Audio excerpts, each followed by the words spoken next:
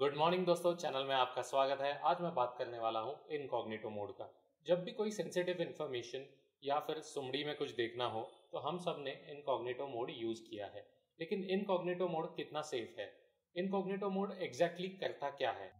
Incognito mode में history cache जिसमें जो वेबसाइट आपकी विज़िट की है, उसका डेटा कुकीज जिसमें आपकी एक्टिविटी इन्फॉर्मेशन है और फॉर्म डेटा यानी कि क्रेडिट कार्ड पासवर्ड वाली इन्फॉर्मेशन ये सब टेम्परली सेव होती है। जैसे ही आपका सेशन क्लोज हो जाता है, उसके बाद ये सब डेटा डिलीट हो जाता है। पर कोई भी आपका कंप्यूटर यूज़ करता है तो उसको ये सब चीज़ें नहीं दिखती। इनकॉग्निटो मोड में कुकीज सेव नहीं होती। तो सिमिलर वेबसाइट पे आप दूसरा अकाउंट भी वहाँ पर खोल सकते हैं। और एडवर्टाइजर्स के पास भी आपकी इन्फॉर्मेशन नहीं जाती। पर कुछ वेबसाइट्स होते हैं जो कि सर्टन अमाउंट ऑफ़ आर्टिकल्स के लिए फ्री देते हैं, फिर उसके बाद आपको चार्ज करने लगते हैं। तो उनके पास भी वो इन्फॉर्मेशन नहीं जाएगी कि आपने कितने आर्टिकल्स फ्री में देख चुके हैं। न्यूज़ आर्टिकल्स जनरली होती है वेबसाइट न्यूज़ वाली, वो कुछ चार्ज करती है।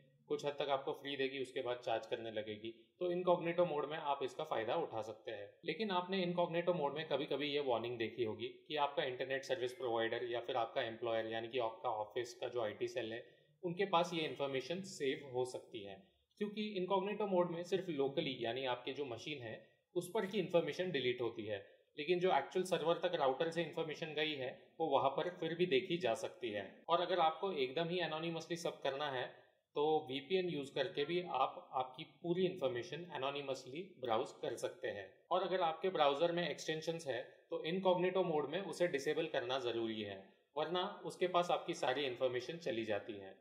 तो ये बात का भी ध्यान रखें। इनकॉग्नेटो मोड में हर डेटा सिक्योरली डिलीट नहीं होता। सॉफ्टवेयर यूज़ करके भी वो इन्फॉर्मेशन निकाली जा सकती है, या फिर आपके पीसी के डीएनएस कैशे में से भी वो इन्फॉर्मेशन देखी जा सकती है। इसलिए कमांड प्रॉम्प्ट में जाकर ये फ़ंक्शन रन करना ज़रूरी है। आप जब ब्राउज़र क्लोज करते हैं, तब अनएक्सपेक्टेडली अगर कोई एरर आ जाता है तो उसके बाद आपका जो रेगुलर डेटा है, वो भी डिलीट होने लगता है। मतलब आपके ब्राउज़र में का डेटा भी पासवर्ड वगैरह इन्फॉर्मेशन सारी डिलीट हो सकती है। और अगर आपका पीसी इन्फेक्टेड है तो कोई भी की लॉगर डालकर भी आपके पासवर्ड्स वगैरह सारी इन्फॉर्मेशन देख सकता है। तो दोस्तों, सही तरीके से इनकॉग्निटो मोड यूज़ करना भी ज़रूरी है।